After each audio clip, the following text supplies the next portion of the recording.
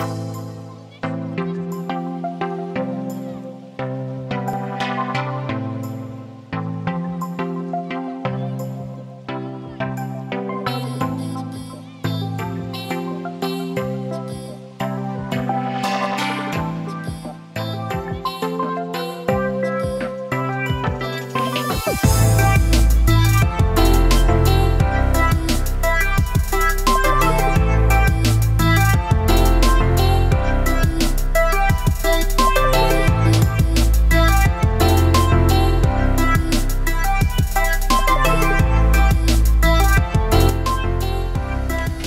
My name's Charlie, and this is my fishing story.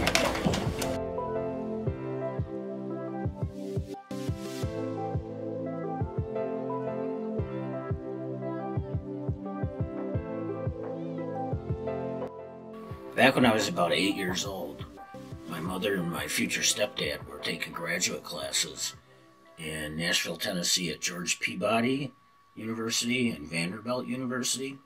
And when my mom was in class, my stepdad would take my brother and I fishing. There was there was a park in Nashville called Centennial Park. And it had a lot of really nice bass in it. So we'd take our our Zebco reels and we'd go fish down there. Plus, on one side of it, the locals had a casting league, and they'd uh, set almost like hula hoops, but smaller out in the water and, and cast for accuracy and get so many points for each one. But anyway, later in the summer, my stepdad was looking for a job teaching. He was a biology teacher. So he came to Wisconsin because he had relatives here. And he went up to Oshkosh and he got a job at Oshkosh High School teaching science classes, biology, so on and so forth. And with when having two parents as teachers, you got to do a lot of reading. They were they were always having you read about where we're going to go, so on and so forth.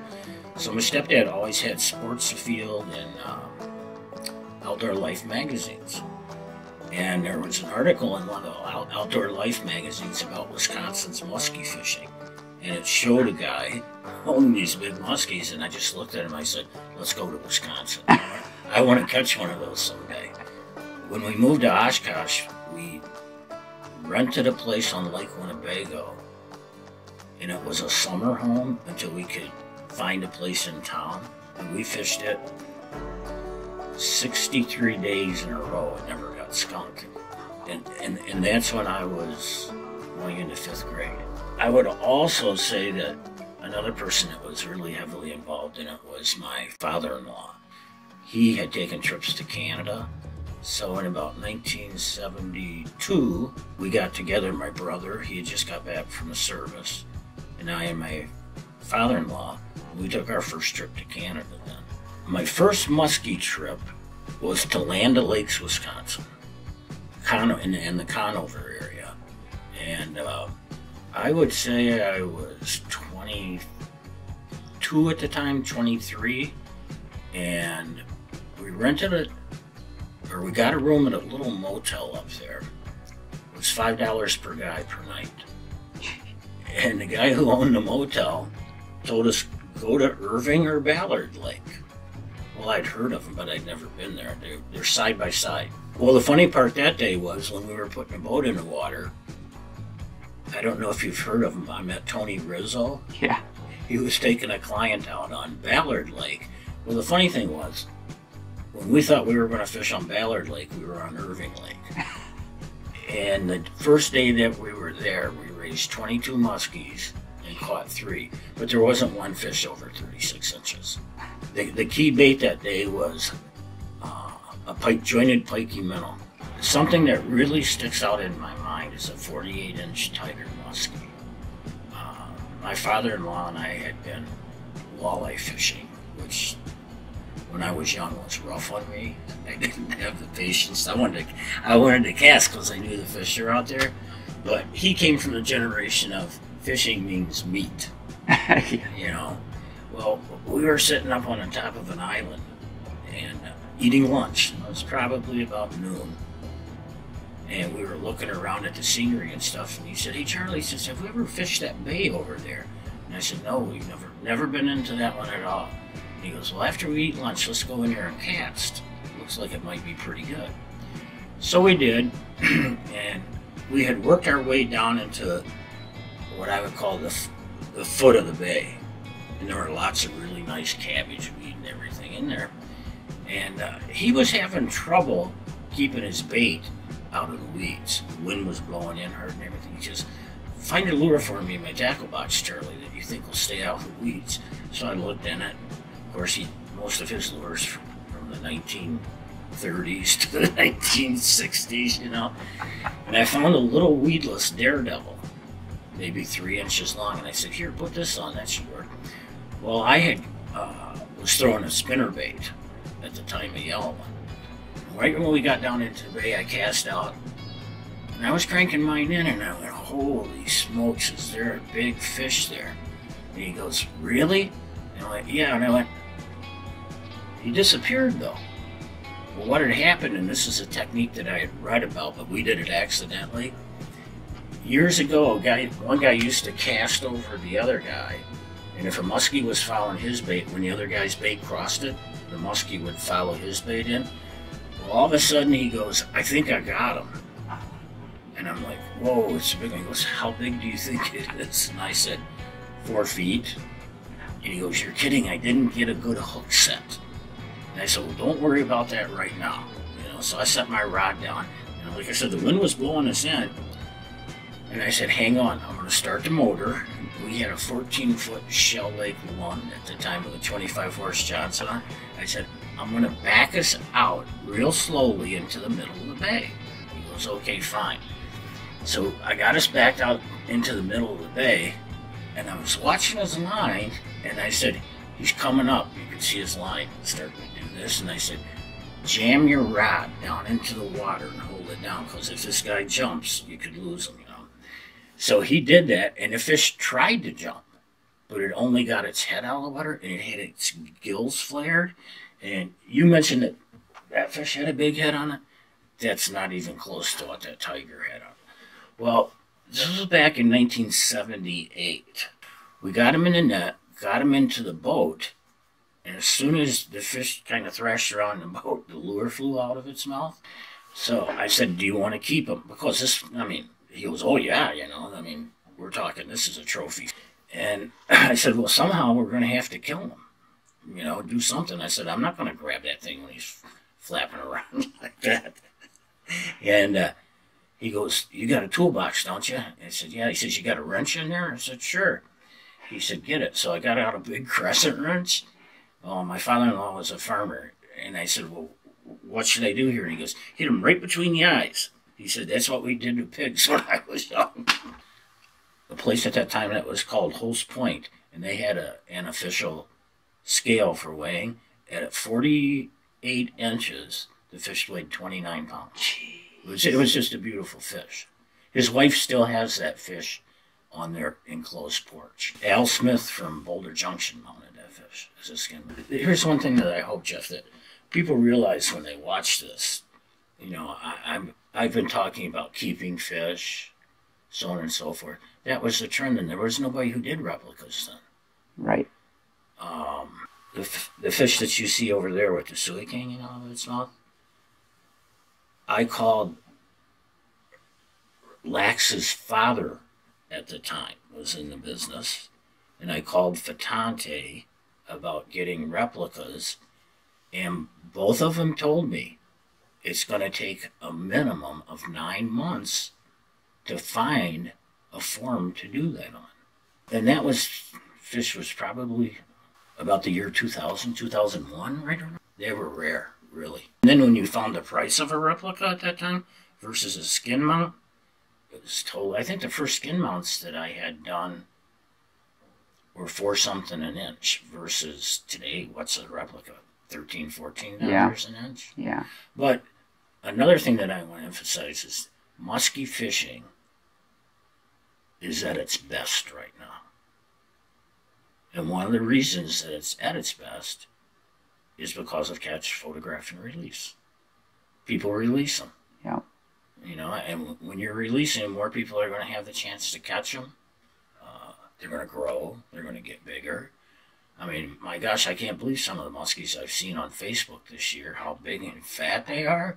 It's just, and another thing, um, people today can catch as many muskies in one day as people 40 years ago used to catch in their lifetime. There, there are some guys today that are producing 10 to 25 muskies a day. That was unheard of years ago. I can remember when I first went to Canada muskie fishing. If you got one muskie in the week, that was that was a big deal. Seriously. When I first started muskie fishing, the size limit, and this is going to sound strange, in Canada was 28 inches. 28 inches. From 28 inches, it went to 30 inches, 32 inches. From 32 inches, it went to 40 inches. From 40 inches, it went to 48 inches, and from 48 inches, it went to 54 inches. I think another thing that's really important that wasn't it wasn't paid much attention to when I was young is how do you hold the fish vertical or horizontal. I mean, a, a lot of the pictures that I have of fish when I was young were holding the fish vertically. Right. Today, the proper way is to hold them horizontal. You know, one of the biggest things that you watched out for when you were younger is your hands. You know, I mean, granted, we weren't using the size lures and size hooks that we do today, but still, though, when you catch a decent sized northern or decent sized muskie, if it's big enough, you can't put your hand around it to hold it. So when they came out with a boga grip, we used a boga grip a lot. Right. Now, I still own a boga grip and it's in my boat, but I don't use it. We keep everything in the net, almost use the net like a corral to Yeah. keep the fish and get the fish unhooked while it's in the net. You know, if Yep. you have to cut the hooks or do whatever, do it. And then from there, get your pictures real quick, get the fish Right. back in the water. So I think the big emphasis, emphasis today is keep that fish out of the water for the smallest possible time that you can. Keep them in the water for the most time. I think that's probably one of the most important changes there is. Now, I was thinking the other day, you know, they talk about the mortality rate of muskies, so on and so forth. As far as I quote know, in all the years I've muskie fished, I know of two muskies that died. Almost 41. Yeah, because I'll be 65 this year. We were out fishing and it just poured. And of course, none of us had, we had your basic $10 rain suits in those days. I mean, there was nothing with Gore-Tex or Helly Hansen or Under Armour or any of that stuff. So after we fished for about two or three hours, we were soaked. We, I mean, everybody came back in. I think we had like nine guys in our group, and we were in a big cabin at the time. And uh, one of my friends said, "Hey, let's get the wood stove going." Everybody agreed to that, you know. And supposedly the guy who put the cardboard and the wood in it knew what he was doing. Well, anyway, he he over put way too much cardboard in it, way too much wood in. it. And when that thing heated up, the stove started jumping. Now this is the next part. Behind the stove, there's wallpaper on the wall. The wallpaper started coming off the wall. No, this is one that we rented years ago. This was oh, that was on that same trip in '78 or '79. We thought we were going to burn the cabin down. In all honesty, That's good. That's good. it was it was jumping and making noises. oh my gosh, that is something guys would do though, like Oh, making yeah. a fire too big. But you know, I've always had dogs. I had an uncle that was blind, and he always had German Shepherds as his guide dogs. And uh, my brother and I used to spend a lot of time with my aunt and uncle. And I, I fell in love with dogs through my uncle. I got my first hunting dog when I was about 20, 19 or 20. It was an Irish setter. His name was Duke. He lived to be uh, one month of 19 years old. And I hunted him 14 years out of that. When he was 14, he got a tumor on his hip, and it was cancerous. And the vet said he may live three months, six months, a year. You can't predict it.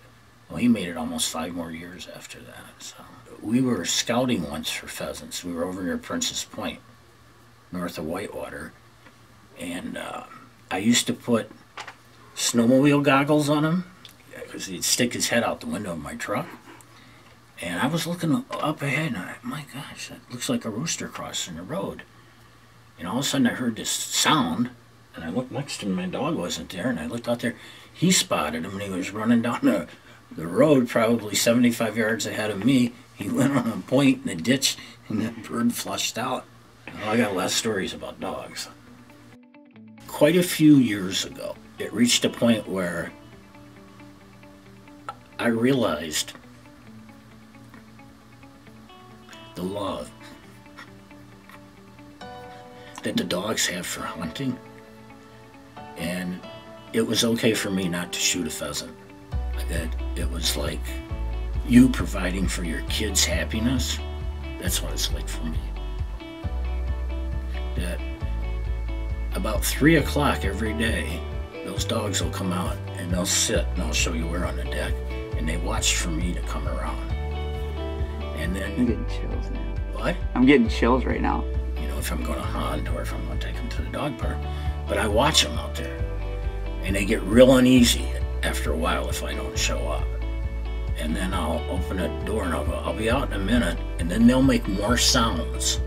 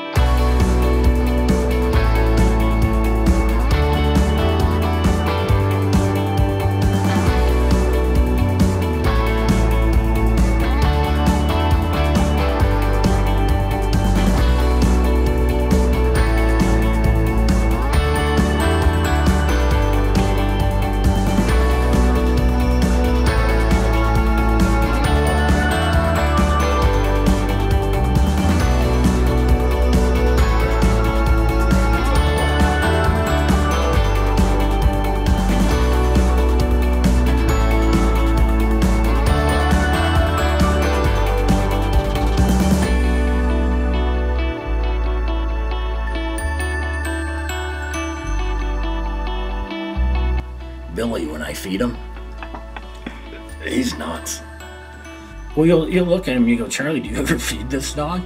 He is so wound up. I've never had a dog like that. I bet he, excuse me, 10 times a day. he'll have, he'll lay so many bombs out there compared to Shady, it's unreal. Then we go to the dog park, he's got to go five times. And when he hunts, he's, he goes till nothing comes out.